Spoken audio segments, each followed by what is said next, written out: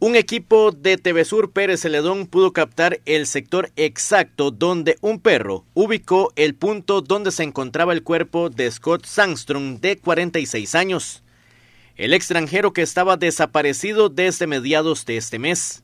La ubicación del cuerpo de este hombre se produjo la mañana de este lunes. La brigada de rescate Open estuvo trabajando toda la semana y relataron a este medio cómo se dio la ubicación en la zona de San Gerardo de Rivas. Hemos trabajado arduamente, todos los compañeros, todos los compañeros han dejado sus días de trabajo para venir acá. Eh, ayer, gracias a Dios, eh, se confirmó eh, que había un lugar donde ya encontrábamos cierto aroma, no era muy fuerte, pero sí encontrábamos cierto aroma y teníamos nosotros en nuestro equipo de, de la Brigada Open de búsqueda y rescate, tenemos un rastreador, eh, tenemos gente especialista en todos y se nos unió en un apoyo especial para confirmar lo que ya nosotros humanamente habíamos confirmado, pero necesitábamos porque es muy profundo, ¿verdad? Y el perro dio positivo. Eh, el perro dio positivo, eso alegró nuestro corazón.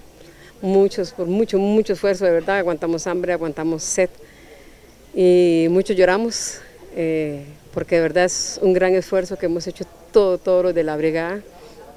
Y aquí estamos ya con eh, la Cruz Roja, con el OIJ, que ya, ya el cuerpo lo sacaron en el río y ya está fuera. La Cruz Roja confirmó la mañana de este lunes 27 de febrero la ubicación del cuerpo. En horas de la tarde del día de ayer, después de ya haber buscado durante la semana, ¿verdad? El grupo también de la OPEN, eh, el día de ayer nos indican que se detecta un, olor, ¿verdad? Acá y que hay un perro que da un punto. Entonces, eh, hacemos toda la coordinación para el día de hoy, ingresar con, ya con los equipos de buceo. Eh, y efectivamente, eh, a las 8 y 45 aproximadamente, se logra hacer la extracción del, del cuerpo. Para llegar al punto exacto donde se encontraba el cuerpo, se tiene que hacer un descenso importante. Sí, es una zona bastante quebrada, eh, bastantes rocas, es un difícil acceso, eh, bastante peligroso. Pero bueno, se, se logra como a unos 25 metros donde estaban las prendas de vestir de él, en una roca grande hay una cueva y ahí dichosamente estaba el cuerpo. Gilbert Dondi es uno de los hombres más experimentados en rescates tanto en ríos como en montañas. Él describió los aspectos del punto donde se pudo producir el accidente acuático. Eso no es una catarata, es una cascada, con el grado de dificultad de que eh, al caer el agua, ¿verdad? Son diferentes escalas. Eh, probable, ¿verdad? Porque es toda una probabilidad de que estuvo en la parte superior, en otra poza, y, y, posible pudo ser arrastrado, ¿verdad? Con la diferencia que en la parte inferior hay una zona donde las aguas se dividen. Entonces, hablando río abajo, margen izquierda, es probable que él haya sido expulsado hacia donde hay una gran roca, ¿verdad? Que conforma una, una cueva pequeña, ¿verdad? Y probable, como se nota la escena, es que él posiblemente trató quizás de salir por ese sector, ¿verdad? Obviamente la dinámica hidráulica muchas veces no lo permite, porque usted se ve ahí envuelto en toda la dinámica del agua y entonces eh, precisamente por allí fue donde, donde, inclusive por ahí mismo fue que lo extrajimos de la zona, ¿verdad?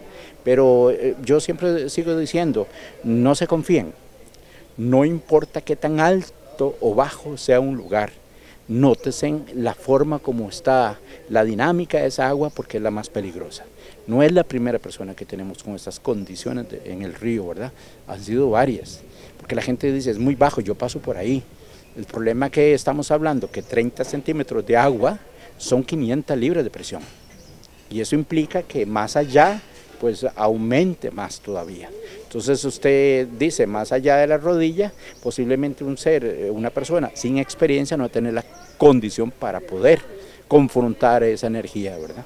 Este hombre había sido reportado como desaparecido desde mediados de este mes y según los datos que manejan, se encontraba solo en el país. Más bien es como el día 14 que lo dejaron de ver por última vez, ¿verdad?